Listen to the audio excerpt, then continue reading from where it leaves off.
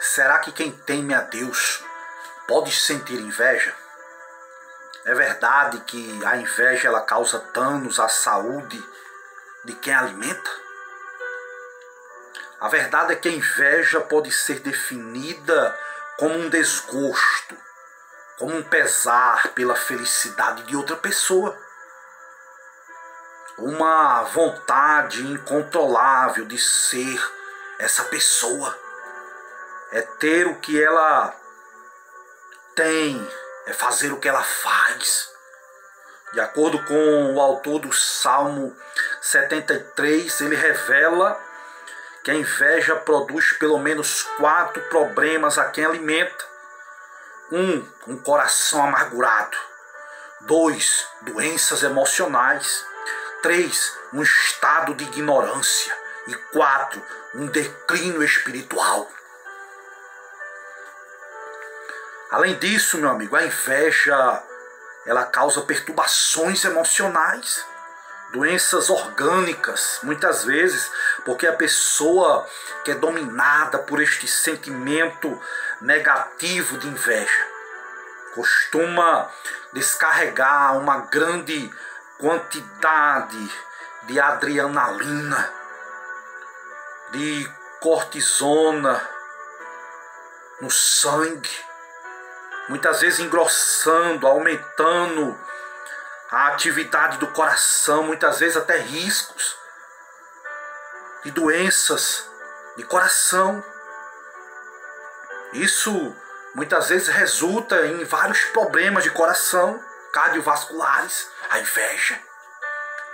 A inveja também provoca uma sobrecarga emocional a qual pode levar uma pessoa a sofrer muitas vezes transtornos de ansiedade, muitas vezes baixa imunidade, doenças muitas vezes como asma, como úlcera, como uma artrite, como uma, remal, uma reumatoide, por exemplo.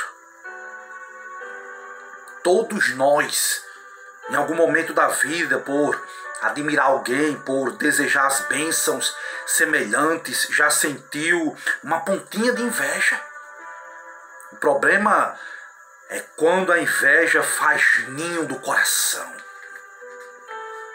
de alguém e passa a ditar nossa forma dele de pensar, de relacionar-se consigo mesmo, com os outros. Compaixão excessiva com o outro costuma levar o invejoso a ter muitas vezes uma baixa autoestima, amargura, ressentimento, pesar pelo bem alheio. Isso normalmente é expresso quando ele ridiculariza, fala mal de outro, denegrindo a sua imagem, inveja. O autor do Salmo 73 confessa que teve o seu entendimento embrutecido pela raiva, pela amargura. Isso quase o levou a se afastar de Deus.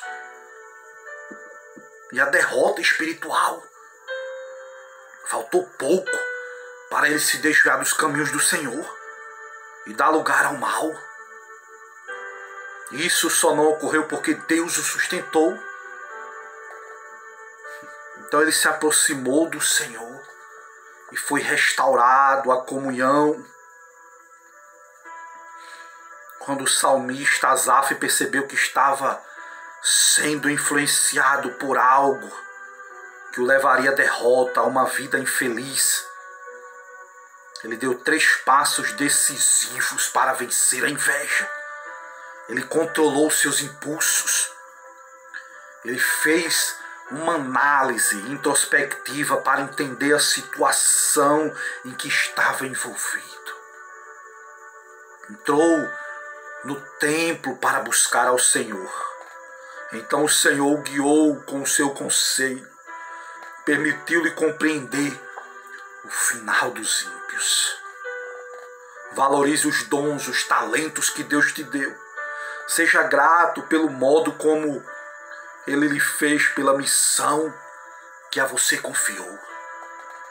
Não tenha o teu coração inveja dos pecadores, antes ser no temor do Senhor todo dia. Provérbios 23, 17.